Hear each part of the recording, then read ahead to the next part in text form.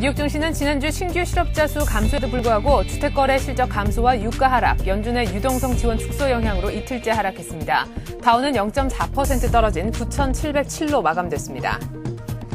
한편 유럽 증시는 G20 정상회의를 앞두고 일제히 하락했습니다. 미국의 8월 기존 주택 판매 실적 감소도 악재로 작용했습니다.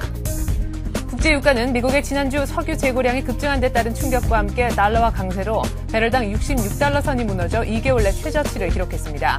11월 인더분 WTI는 4.5% 급락했습니다. 미국 피츠버그에서 열리는 제3차 G20 정상회의가 오늘 개막됩니다. 이 대통령을 비롯한 참가국 정상들은 글로벌 경제 불균형 해소 방안을 놓고 경론을 벌일 예정입니다. 안녕하십니까. 이슈의 마켓의 최리나입니다. 뉴욕이 이틀째 하락했습니다. 이번엔 주택 지표에 실망했기 때문인데요. 다우가 0.4% 밀리면서 9,707로 끝났습니다.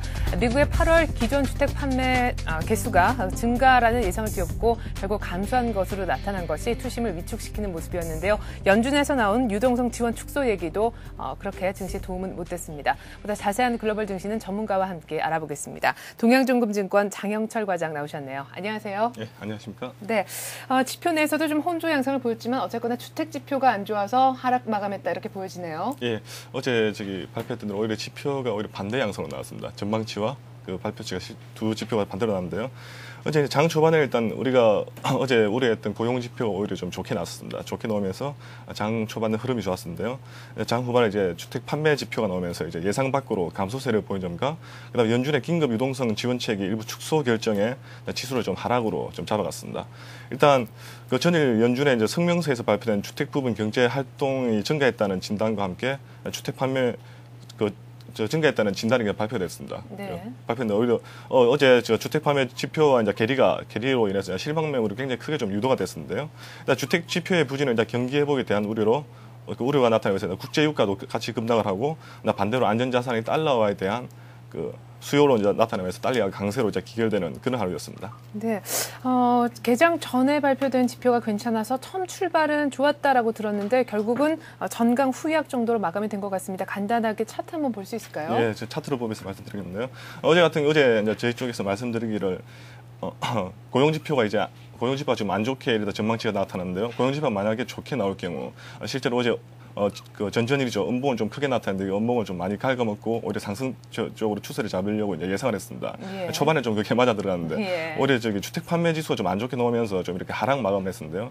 일단은 내일 발표될 신규 주택 판매 호수 같은 경우는 일단 좀 전망치가 좀 상승으로 잡혀 있는데 오히려 만약에 이런 흐름으로 이어가 가지고 어, 전망치보다 좀 더 하락하게 될 경우에는 오히려 다우지수 같은 경우는 21선인 약 한 9,600선, 9,600선 초반까지도 아마 좀 열어둬야 될 그런 그 지금 그런 지금 분위기로 좀 이제 양상으로 좀 빠져들고 있는 것 같고요. 예. 그렇다면 뭐 다음 주 같은 경우에 지표에 나타나면 지표 같은 경우에도 그렇게 이제 지금 전망치가 그렇게 좋게 나타나지 않기 때문에 일단 다우지수가 어 그 뭐 기본적으로 이제 기간 조정에 조금 더 임박할 수 있다고 한번 생각해 볼 수 좀 있을 것 같습니다. 음, 그래요.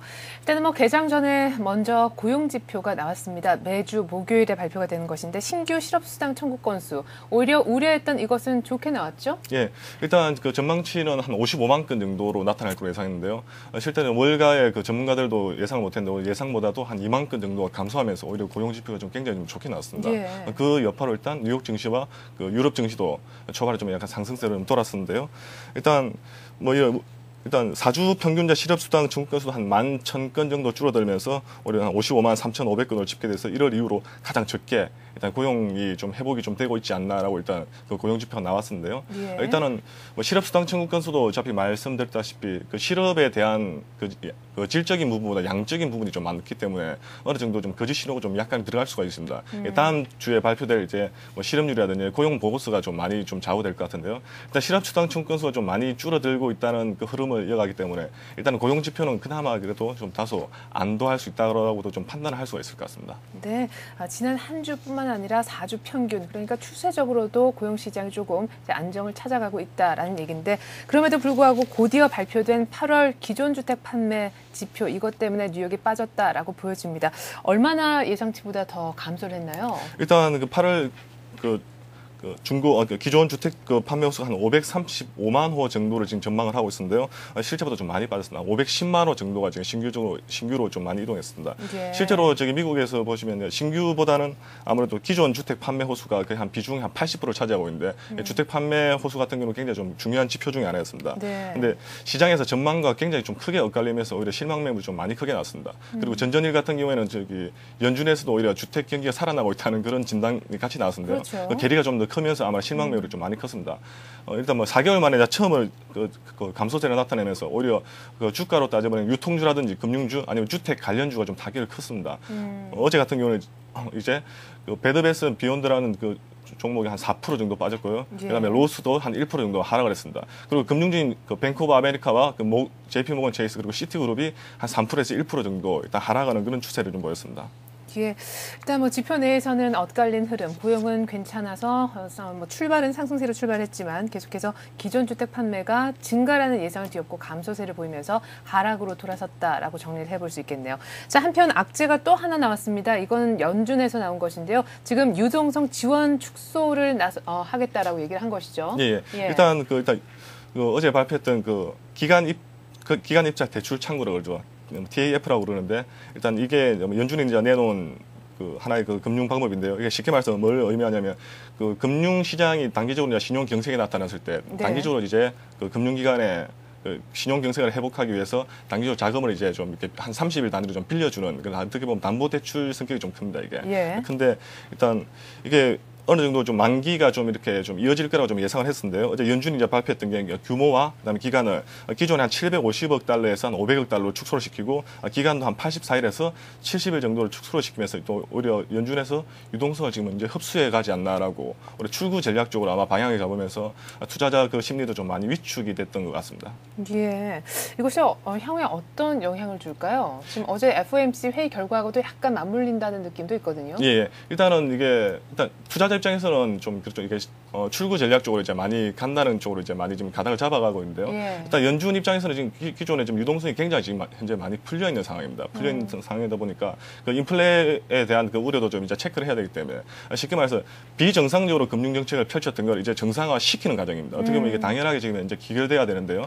근데 뭐 최근같이 이렇게 뭐 흐름 자체도 뭐 경기 회복에 대한 흐름도 지금 좋아지고 있을 때 우리 연준에서는 이걸 빨리 좀 실행을 하려고 지금 하고 있는 모양이고요. 그렇죠. 근데 뭐 어제 같이 지표 같은 게 악재도 좀 계속 나오는 와중에서도 좀 이런 그 이런 식으로 이제 뭐 정부 정책 쪽에서 이렇게 펼쳐 나가는 자체도 우리 좀 시, 그 시장에 대한 약간 충격이 좀 있을 수 있을 것 같거든요. 네. 그리고 뭐 가이터너 재무장관 입장에서 보면은 어, 미국 정부 입장에서는 더 이상 이제 제로 금리 자체를 좀 계속 이렇게 펼쳐 나가는 게 좀 상당히 좀 이제 부담으로 많이 작용하는 것 그렇겠죠. 같습니다. 예. 왜냐하면 최근에 뭐 달러 약세부터 시작해가지고 모든 그 지표 자체가 지금 현재부터 이런 기존에 좀 유동성을 많이 풀었던 전략을 계속 이어 나가기가 일단 연준 입장에서 굉장히 좀 부담으로 많이 작용하고 있는 그, 그 요소로 좀 많이 작용하기 때문에 아마 이런 그 출구 이제 표현을 하, 표현하니 안- 하, 그, 하지 않았지만은 네. 이런 식으로 이제 유동성을 좀 이렇게 흡수할 수 있는 음. 흡수할 수 있는 유동성을 빨리빨리 좀 흡수하려고 하는 그 의지가 좀 강하게 좀 표명되고 있는 것 같습니다. 예, 알겠습니다.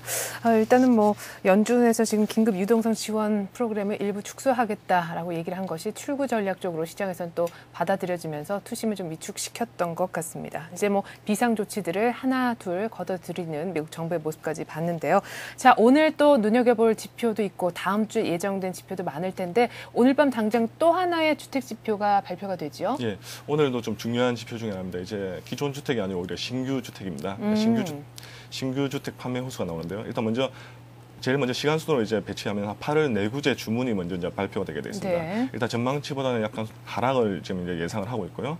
그리고 소비자 신뢰 지수 같은 경우는 그 전 전분기랑 좀 비슷하게 일단 나오고 있을 거로 예상되고 있습니다. 그리고 저 중요한 지표 중에 하나죠. 좀 이렇게 장 후반 쪽에 나올 건데 신규 주택 판매 호수가 이제 발표되는데요.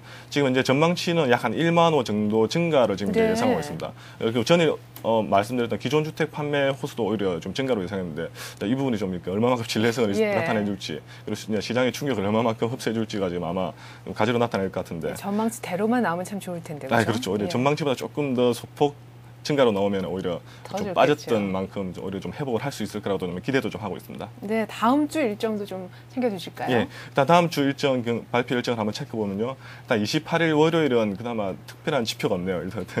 예. 그리고 29일 화요일부터 이제 지표가 나오는데요. 일단 7월 케이스 실러 주택 가격 지수가 있습니다. 그리고 9월 컨퍼런스 소비자 그 신뢰 지수도 있거든요. 이 두 지수 같은 경우는 한번 체크를 좀 해보셔야 될 것 같습니다.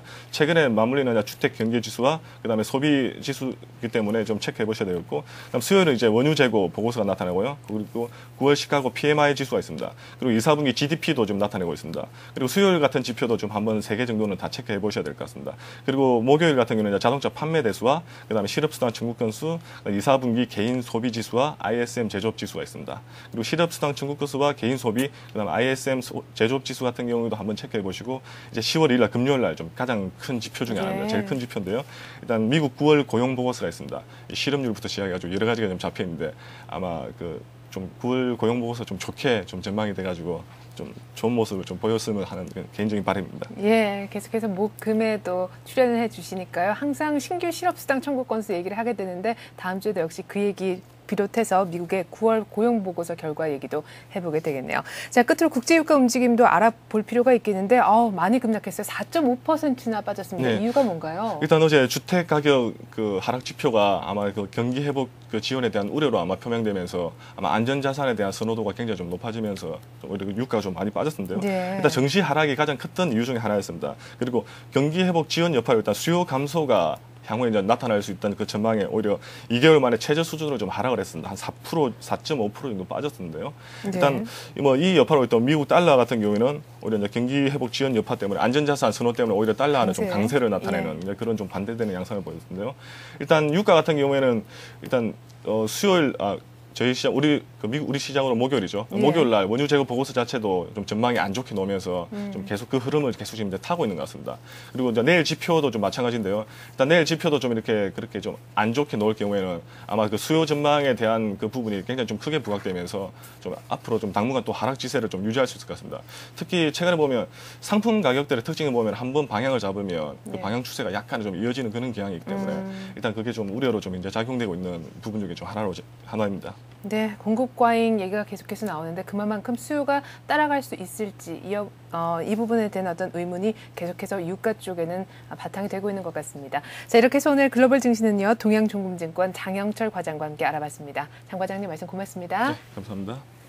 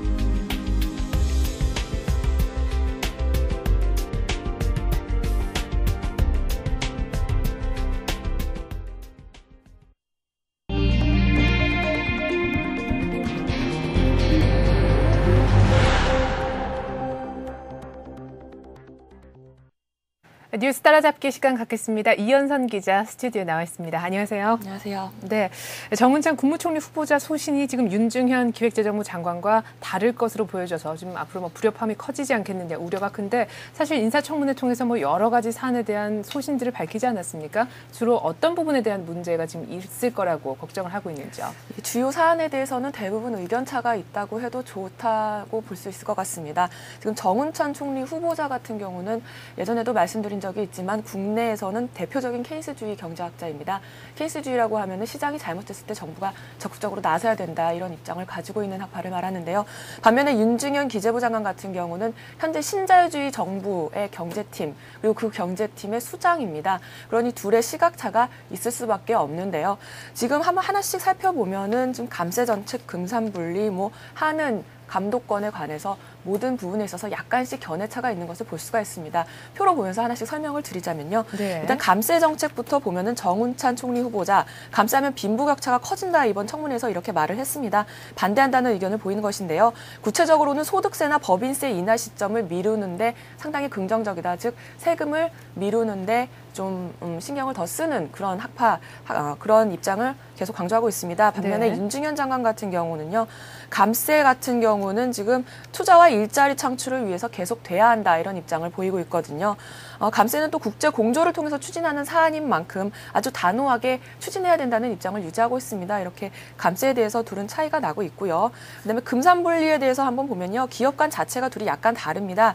정운찬 후보는 약간 부정적입니다. 재벌은 경제 성장에 기여한 면도 있지만 부작용도 많은 만큼 이를 최소화하는 방향으로 가야 된다 이렇게 청문회에서 말을 했었거든요. 어, 음. 금산분리에 대해서도 기존의 저서에서 배- 재벌이 은행을 소유하면 한국 경제가 나락으로 떨어질 것이다 이런 경고까지 했- 한 적이 있었습니다. 아, 반면에 윤중현 장관 같은 경우는요 과감한 규제 완화로 기업의 매력적인 투자 대상을 제공하겠다 이런 입장을 최근에 위기관리 대책회의에서 밝혔었습니다.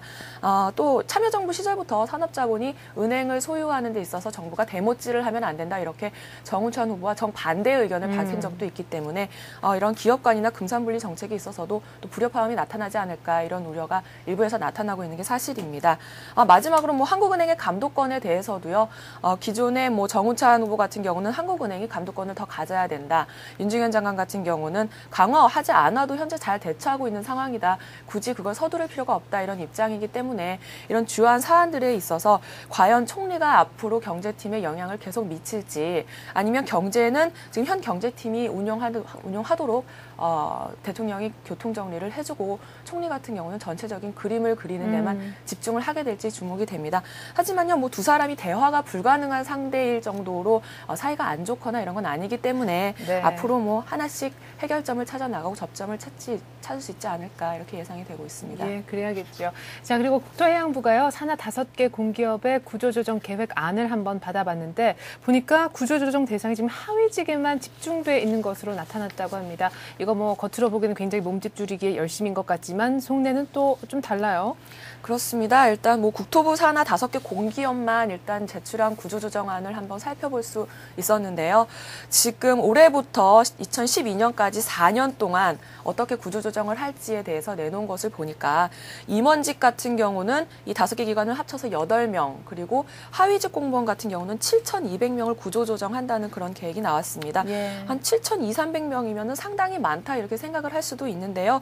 이렇게 숫자를 일단 많이 한 것은 숫자가 많아야지 기관 평가에서 긍정적인 평가를 받을 수 있으니까 불가피하게 신경을 좀 쓴 것으로 보입니다. 하지만 내용을 살펴보면 좀 부족한 면이 없지 않은데요. 일단 표를 하나씩 보시면은 예. 이번 다음 달이죠. 다음 달에 통합이 되는 토지주택공사에서만 임원이 8명 구조조정되고 나머지 기관에서는 임원이 단 한 명도 어, 구조조정되지 않는 것을 볼 수가 있습니다. 네, 유일하네요. 그렇습니다. 그리고 또 철도공사 같은 경우나 도로공사 같은 경우는 보면 임원이나 1에서 3급의 고위직들은 단 한 명도 구조조정이 되지 음. 않고 어, 4급 이하의 하위직에서만 아주 집중적으로 많은 사람이 구조조정이 되는 것을 볼 수가 있습니다. 어, 이렇다면은 과연 임직원이 고통을 분담하는 상황이 아니고 하위직만 대량 감축된다. 즉 음. 공기업 선진화를 위해서 구조조정을 하는데 과연 그런 취지를 제대로 살릴 수 있을 것인가 이런 의문이 들지 않을 수가 없기 때문에요. 이 같은 점들을 또 더 수정해서 반영해야 되지 않을까 그렇게 생각이 됩니다. 네, 그리고 최근 처음 집을 사는 사람들을 위해서 생애 최초 주택 공급 아, 특별 제도라는 것이 이제 신설이 되게 됐는데 이들에게 배정되는 어떤 구체적인 물량 그리고 청약 방법이 나왔습니다. 자, 보금자리 주택의 20%가 이들 앞으로 할당이 될 거라고요. 예, 한 처음에 계획안이 나왔을 때도 한번 뉴스로 소개해드린 적이 한번 있었는데요. 지금 주택 공급 규칙 개정령이 이제 이번에 발표가 돼서 28일 그러니까 다음 주 월요일부터 적용이 되기 시작합니다.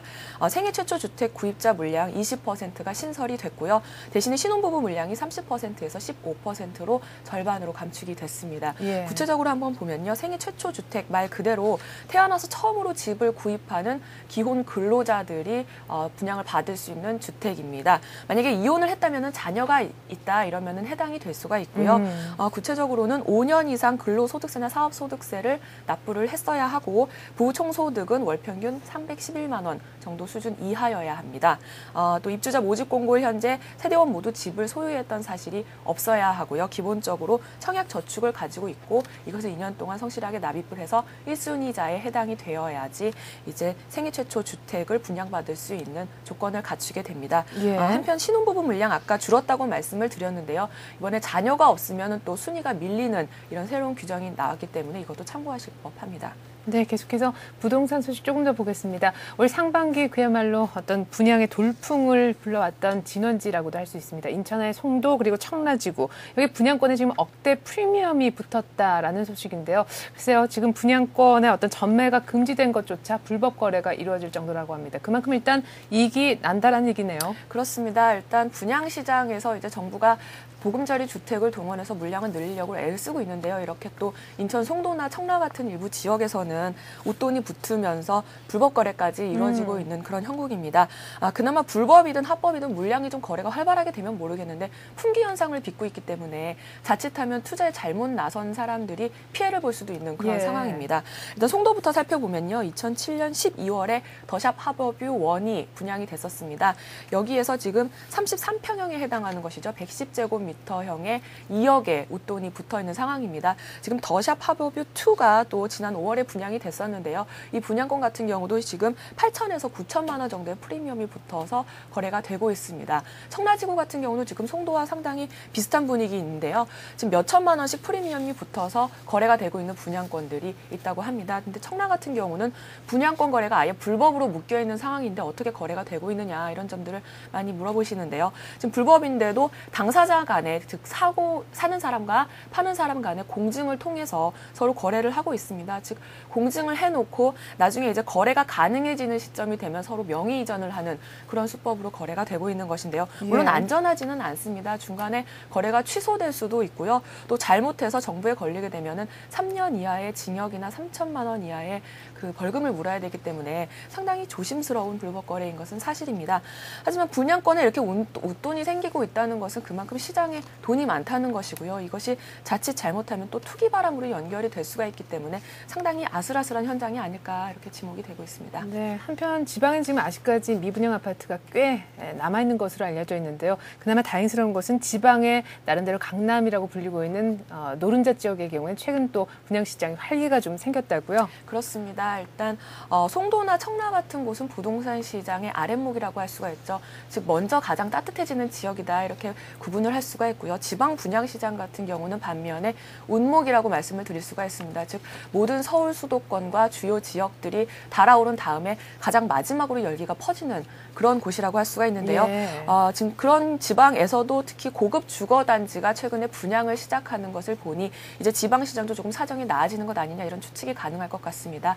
아, 특히 부산 해운대나 울산 남구의 신정동 같은 경우는요. 서울에서 원정을 가서 투자를 한다고 할 정도로 음. 상당히 지방에서도 노른자 지역으로 꼽히는 곳입니다.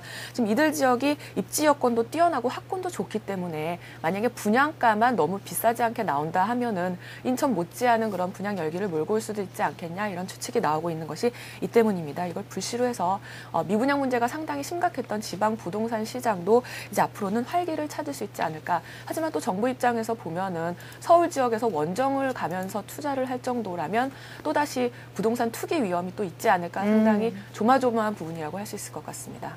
네, 잘 들었습니다. 이현선 기자였습니다. 고맙습니다. 감사합니다.